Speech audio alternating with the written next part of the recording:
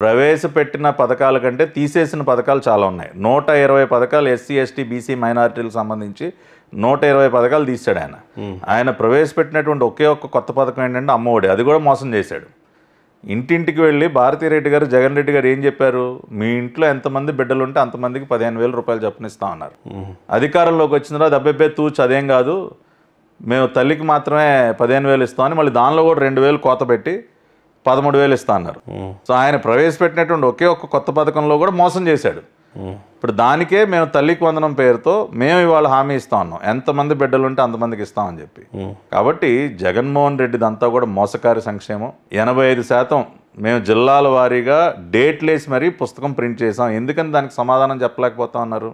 We printed a book let them answer to it ఎందుకు నోరు మూసుకుని కూర్చున్నారు?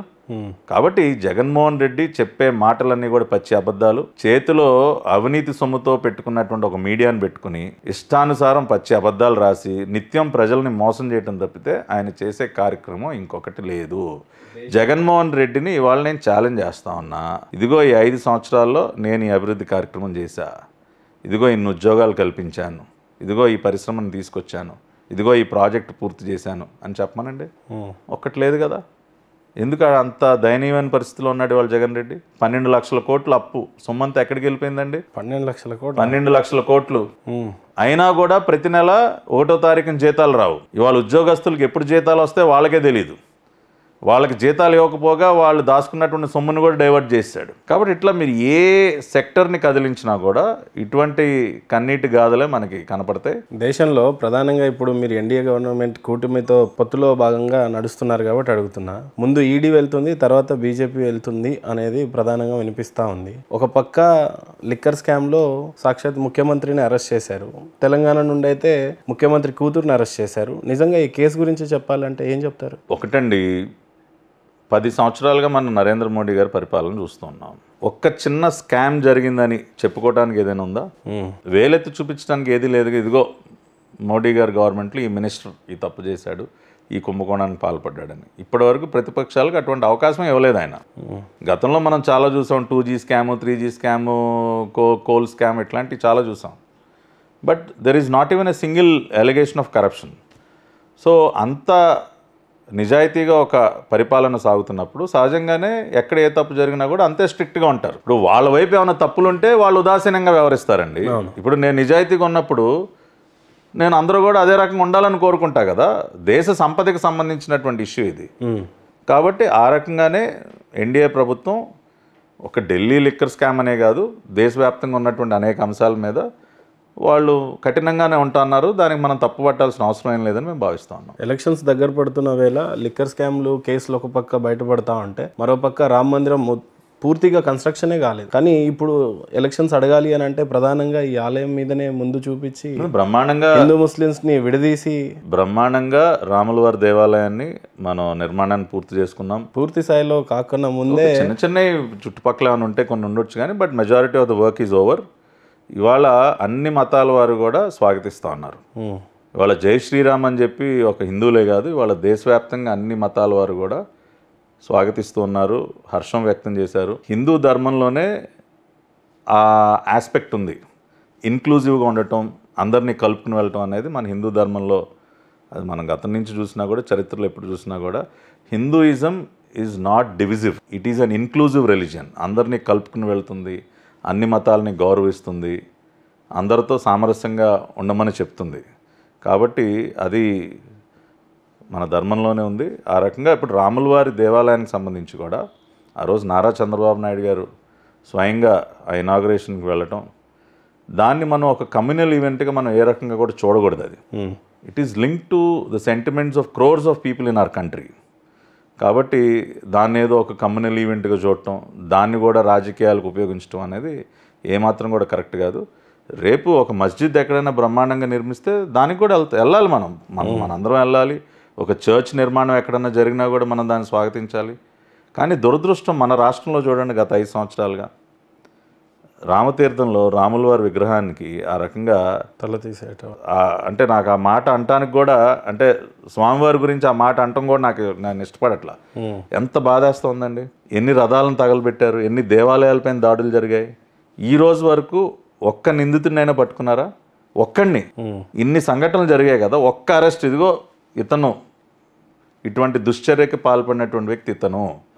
ఇతను ఇదిగో ఈ రకంగా శిక్షించారు కారణం ఏమై ఉండొచ్చు? ఒక్క నిందితుడిని కూడా పట్టుకోకపోవడం అదే ఇప్పుడు ఇవాళ ఉన్నటువంటి ఈ ప్రభుత్వం అంటే మిగతా అన్ని అవలక్షణాలతో పాటు ఈ ప్రభుత్వంలో జగన్మోహన్ రెడ్డి అనేక మతాల వారిని కూడా టార్గెట్ చేశాడు. ఓకే ఆయన క్రిస్టియన్ క్రిస్టియన్ మతాన్ని అనుసరిస్తా ఉన్నాడు. వీ రెస్పెక్ట్ హిమ్ మేము దాన్ని ఏం తప్పు పట్టట్లా అట్లా అని మిగతా మిగతా పూజలు చేస్తా ఉన్నాడు మిగతా మతాలని కించపరచడం మిగతా మతాలని పైన మతస్థుల పైన వారి దేవాలయాలపైన ఈ రకంగా దాడులు చేస్తే మౌనంగా కూర్చోవటం అది కాదు కదా. ఆ రకంగా కూడా ఎంతమంది నిన్న కాకినాడలో ఒక పురోహితుడి పైన జరిగినటువంటి దాడి. ఎంత దుర్మార్గం అండి. ఒక పురోహితుడిని గుళ్ళోనే కొట్టేస్తారా. అంటే ఇంకెన్ని ఎన్ని భరిస్తారండి? అందుకనే ఈ సైకో పోవాలంటా ఉన్నారు. ఈయన ఈ పని చేయలేదు ఇటువంటి ఈ పాడు పని చేయలేదని చెప్పడానికి ఒక్కట్లేదు అన్నీ చేశాడు. పట్టాభిరామ్ వరకు దేవుడు ఉన్నాడని నమ్ముతాడా? లేడా నేను ఖచ్చితంగా నమ్ముతాను వ్యక్తిగతం వరకు? లే నేను ఖచ్చితంగా there is a force there is a divine power which is running this entire universe అని నేను చాలా స్ట్రాంగ్గా బిలీవ్ చేస్తాను. నేను పొద్దున్నే లెగ్గానే దేవుడి మందిరంలోకి వెళ్తాను పొడుకునే ముందు దేవుడి మందిరంలోకి వెళ్తాను. ఖచ్చితంగా నాకు నమ్మకం ఉంది. మా కుటుంబంలో కూడా అది ఉంది ముందు నుంచి. మా నాయనమ్మ గారు వీళ్ళందరూ కూడా బాబా భక్తులు. బాగా పూజలు అవి చేయటం. నా భార్య కూడా తను devotional. So our family strongly believes. Though communist family అయినా కూడా కమ్యూనిస్ట్ బ్యాక్గ్రౌండ్ కమ్యూ ఇది ఒక ఇక్కడ ఒక వైరుధ్యం మీరు అడగొచ్చు. చాలా మంది కమ్యూనిస్టులు నమ్మకం ఉండదు కదా. బట్ కమ్యూనిస్ట్ మూమెంట్లు ఉన్నా సరే దేవుడి పట్ల ఆ నమ్మకం ఉంది. చాలా సందర్భాల్లో కొన్ని కొన్ని అంటే ఇంకా కూడా ఆ నమ్మకాన్ని పెంచే విధంగా పెంచడానికి దోహదపడేటటువంటి సంఘటనలు కూడా కొన్ని జరిగాయి. కాబట్టి I strongly believe that there is some divine force which runs the entire universe Pattabhiram ఏ ఆశయం కోసం రాజకీయంగా వచ్చాడు అని అంటే? ఏదన్నా ఒక మంచి చేయటం కోసం. ఇప్పుడు నాకు ఏదో పెద్ద పెద్ద పదవులు లేదంటే తద్వారా వచ్చేటటువంటి లగ్జరీసో తద్వాటిని అడ్డం పెట్టుకుని ఏదో సంపాదించాలో అది కాదండి. ఉమ్. నాకు బిగ్గెస్ట్ మోటివేషన్ ఏంటంటే whenever I use to go to my village when I was a child మా మదర్ సైడ్ కానీ ఫాదర్ సైడ్ కానీ ఆ విలేజర్స్ అందరూ కూడా మీ తాతగారు ఇదిగో ఈ స్కూల్ ఇట్లా చేశారు ఈ హాస్పిటల్ ఇలా చేశారు ఊర్లో ఇట్లా మంచి పనులు చేశారు మీ తాతగారు అంత గొప్పగా ఉండేవాళ్ళు ఇవన్నీ మాకు చెప్పి ఎంతో చెప్తుంటే ఎంతో గర్వంగా ఫీల్ అయ్యేవాడిని. ప్లస్ మా నాయనమ్మ గారు నేను చాలా పెద్ద వరకు కూడా షీ వాజ్ అలైవ్ ఆవిడ ఎయిటీస్లోకి వచ్చిన తర్వాత కూడా she use to do lot of service to the village అట్లాగే అమ్మ సైడ్ కూడా.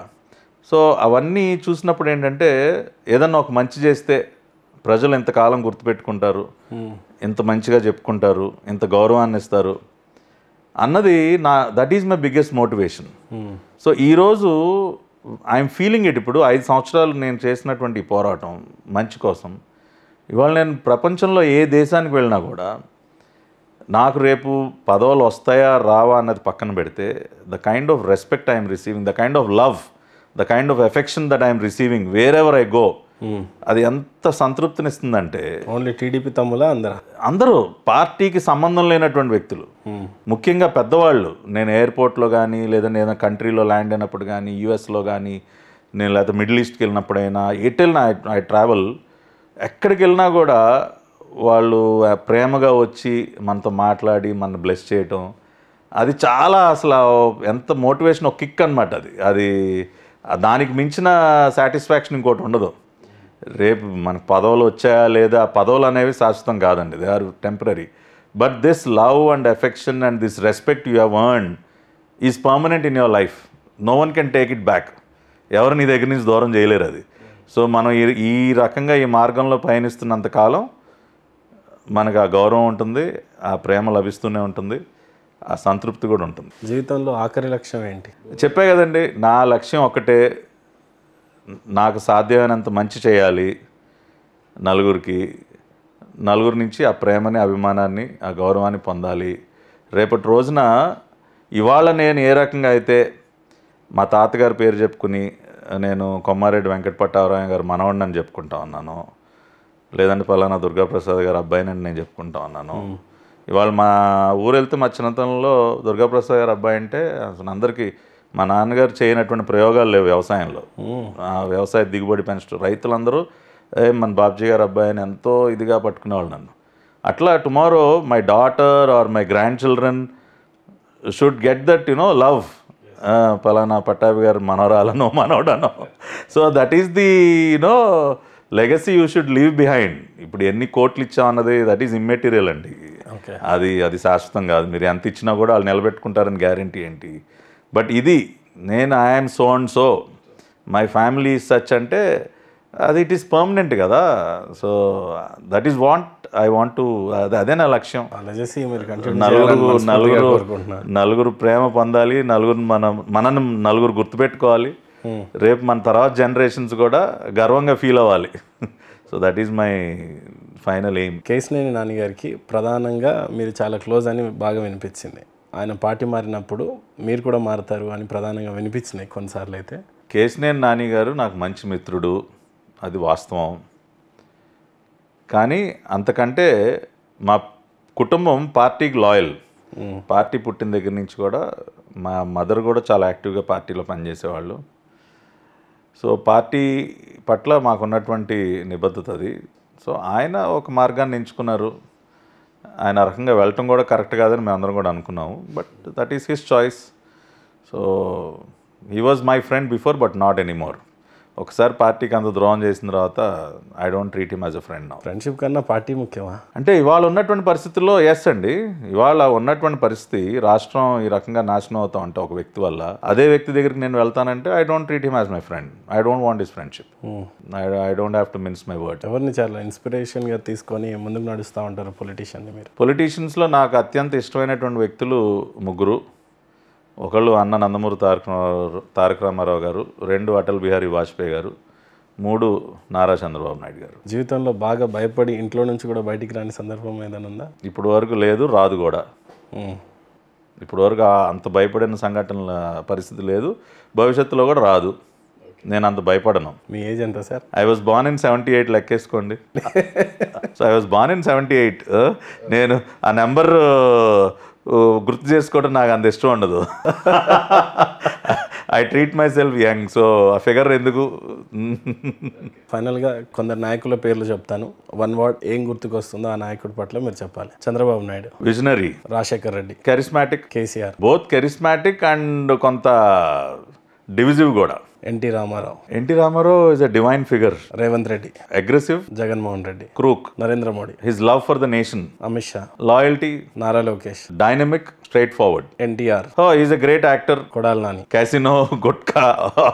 ఇవే గుర్తుకొస్తాయి అలాంటి వాళ్ళ గురించి. Vallabhaneni Vamsi. Is not a character is unfit to be defined also ఏ ఆశయం కోసం అయితే రాజకీయాల్లోకి వచ్చారో ఆ ఆశయాలని మనస్ఫూర్తిగా సిద్ధింపజేయాలని కోరుకుంటూ మీ టైంని సిగ్నేచర్ స్టూడియోకి ఇచ్చినందుకు really thank you so thank you Mahendra garu it was pleasure interacting with you I enjoyed it today and I wish signature studios all the very best thank you so much sir so ఫైనల్గా ఇంటర్వ్యూలో మా signature studios Moto జై జవాన్ జై కిసాన్ అని మీరు మూడు సార్లు అంటే I close my interview so please Jai Jawan Jai Kisan జై జవాన్ జై కిసాన్ జై జవాన్ జై జవాన్ జై కిసాన్ జై హింద్ సార్ జై హింద్ నమస్తే నేను మీ Pattabhi please subscribe to signature studios